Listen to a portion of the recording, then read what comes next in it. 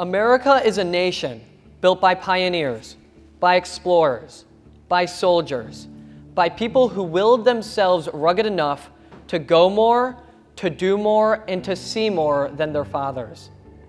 America is a nation that willed itself into existence, not by some coincidence or long development. These willful Americans said that America must be, and so she was. Most importantly, these Americans had the will to continue through struggle. They had the will to withstand through hardship. Without this will, America would never have been. In this way, America is a nation of will. She is a nation of courage, a nation that knew her path and did not care if others berated her or got in her way because she had a will not only to survive, but to strive for more than any other had ever accomplished. America's soul was her people, and her dagger was her will. Today, however, America has grown weary. Her land settled, her oceans explored, her hardships seemingly overcome, and yet there grows a disease in the center of America. The soul of America has lost its will to fight and left America's carcass to be scavenged by this disease in Washington. America knows how to fight off foreign adversaries and even domestic revolts. But never before has America been torn apart forcefully by the people who say they are America. Our government is not America. America is itself. America, her people, her soul, her land, her body, her will, her dagger, blunted by this raging disease. An enemy not seen before. This disease is not communism. It is not fascism. It is not slavery. It is globalism. The globalists gnaw at the dagger of America because if the will is destroyed, there is no longer an America. All that will be left is a shell of what was once a nation. These globalists bring degeneracy and lies to our school and media, and conservatives have done everything but fight back. These last few decades have seen retreat after retreat, failure after failure to protect our traditions and values. Many have given up.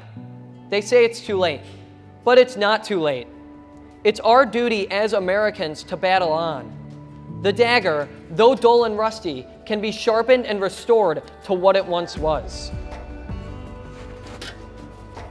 We must reignite the fire within the nation, a fever that will destroy the disease.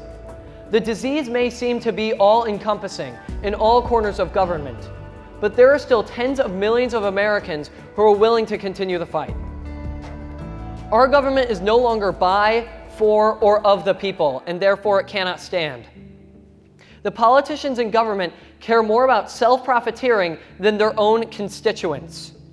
You should not vote for Democratic enemies, but you must also not vote for Republican traitors. We must make it clear to them that it is their job to represent us. Lower taxes are great, but what does it matter if America is gone? We must make it clear to them that it is their number one priority to put America first and the American people first. And if they can't do it, we will vote them out and replace them with people who will.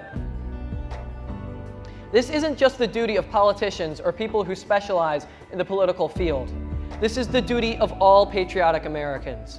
The duty to preserve our nation is a matter of all. All patriots must be willing to make sacrifices as the great men who built this nation did. These globalist elites want you to be comfortable because when you are comfortable, you are more willing to submit. Be ready to be uncomfortable for the sake of America. For what does it matter if you live in a nice house when in a generation your sons and daughters won't even be able to buy a house? They'll be forced to rent and will be completely reliant upon the government. The American dream will die. All of us must fight for our country in one way or another. There is no more sitting on the sidelines.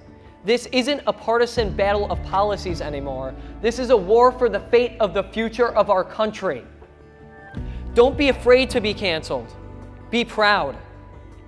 Be proud that you're fighting for America and her survival. And when the inevitable cancellation occurs, do not back down. Do not apologize. In a war, every battle matters. The more people see us stand up for what is right, the more they will join us. The people will become unstoppable. So go out, be proud of our country, be proud of our history, say what is right, and by all means, do not take one step back.